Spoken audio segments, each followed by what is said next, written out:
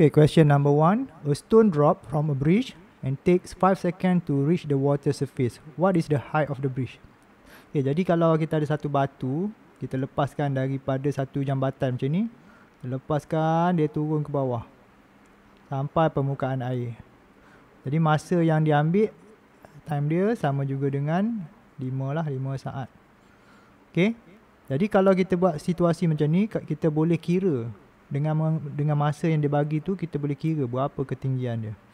Ha, macam orang nak ukur keting kedalaman satu apa ni satu uh, gua ke ataupun perigi ha, dia guna teknik yang sama lah kita tengok masa yang diambil untuk dia sampai ke uh, tempat yang akhir dia lah, permukaan air. Jadi kalau case drop kita lepaskan. Lagi satu maklumat kita tahu dia punya U akan jadi kosong sebab kita lepaskan dia. Kita pegang dia, dia dalam keadaan st- uh, statik ataupun at rest, kemudian kita lepaskan. Jadi daripada gambar raja ataupun pemahaman kita ni, uh, kita cuba senaraikan maklumat U vast. Okay. Uh, jadi U, U sama dengan kosong, X dia tak ada lah. X ni velocity, uh, V eh. V ni tak ada. Velocity dekat permukaan air. Jadi velocity ni kita tak ada lah. Biasanya tak boleh nak kira. Okay. Acceleration mesti pakai negatif 9.81.